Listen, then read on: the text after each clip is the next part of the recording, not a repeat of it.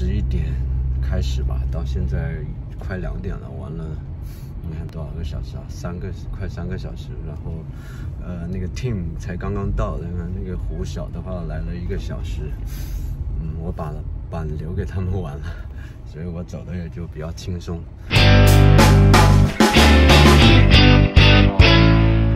今天是啊星期六。那个孩子们去要去参加他小朋友的一个生日 party，所以呢，我就今天有机会就是啊自己来冲了，因为他们来不了嘛。那平时冲浪都是带着孩子，两个孩子啊，那老婆一起一家四口出门。呃，拖家带口的就是会慢一点，通常的话到那边都是中午了，有时候还就反正比较慢。那今天的话，因为浪的话，这边多数好几个海滩的浪呢，都是早上比较好，早上的浪比较啊平缓，比较呃一条一条的过来，一条一条浪过来。但到了中午，然后一两点、两三点之后，那个浪就基本上就是已经是呃碎的碎的浪了，就是嗯不好冲了。那今天的话，我就本来打算更早一点。啊，八点半九点钟就出发，这样的话九点多能到。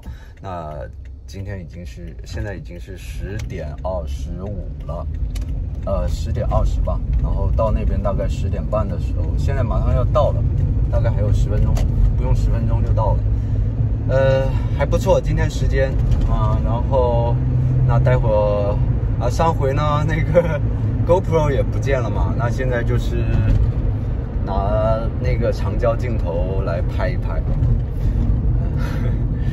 啊，以后呢，我也想再跟大家聊一聊那个，就是呃，冲浪的一些，嗯，关于怎就就不是纯粹的拍我在冲那个啊摔啊拍拍倒啊那些就难看的视频，也跟大家分享一下我呃冲浪快一年的一些感受，比如说。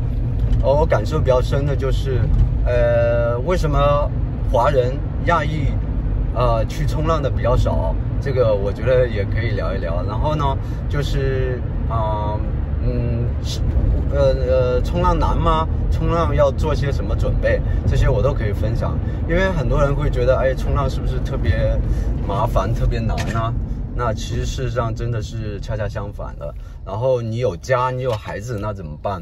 那我也是有孩子，有两个孩子，还挺小的，他们都还不太喜欢下水玩，所以都还得有人照顾啊。然后我自己去冲，呃，其实也蛮自私的嘛。但是也难得一周能带他们出来玩一下，在沙沙滩上，带他们沙在沙滩上玩一下，也是蛮难得的。他们也很开心。呃，只是说。我在冲浪，他们在沙沙滩上玩。如果有些朋友啊，自己也是有孩子，呃，就觉得挺麻烦的，那也可以到时候我分享一下我是怎么。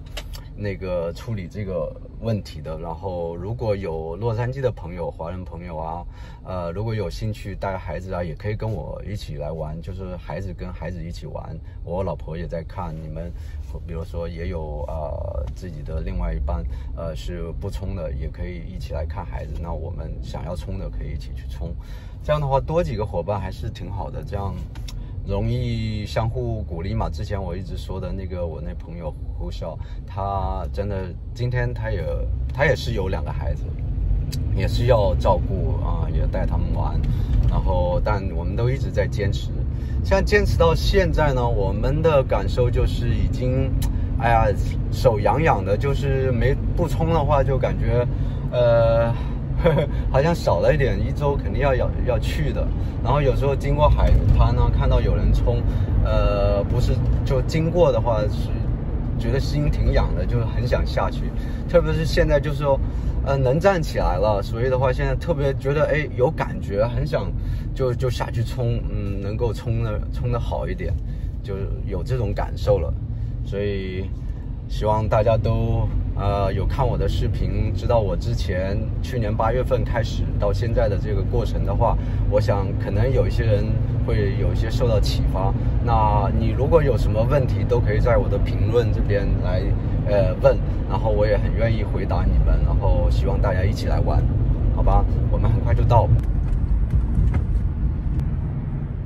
Surf Shop 到了，然后这边右拐过去，你看，大家给大家看一下，看左边这就是 Bossa Beach 的入口，这是要付费的，然后右边这边的话是不用付费的。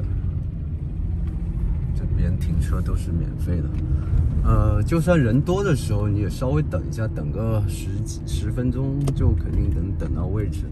我现在看一下还要花多长时间。你看这这好像这刚到的还是什么？停到这边，我停到这边，因为待会是呃出来的时候，嗯，洗冲洗的话，那边刚好有个地方冲洗还比较方便。就那边，这边可以冲洗的。好了，这次呃，就根本就没有等，直接开到这就有个位置，然后离着后面这个，呃呃冲洗的地方很近，就在后面。OK，我们来换衣服，准备下水。这个嘛非常简单，就是把箱子包的，用衣服包的，因为它。弄了沙嘛，然后袋子放在这，还有水就放在这。拍了十几条，只有两三条是有我在里面的，其他的都是拍的是有空空的、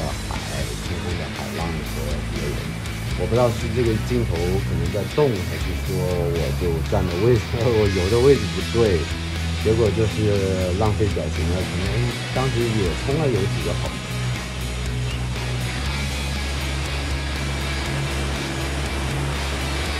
刚刚上来啊，收拾完，然后上车。现在天还是阴天，挺好的。然后那个玩了蛮久的，呃，十一点开始吧，到现在快两点了，玩了你看多少个小时啊？三个快三个小时。然后呃，那个 team 才刚刚到，然后那个胡小的话来了一个小时。嗯，我把板留给他们玩了，所以我走的也就比较轻松。OK，今天玩的不错，下回我们继续冲，拜拜。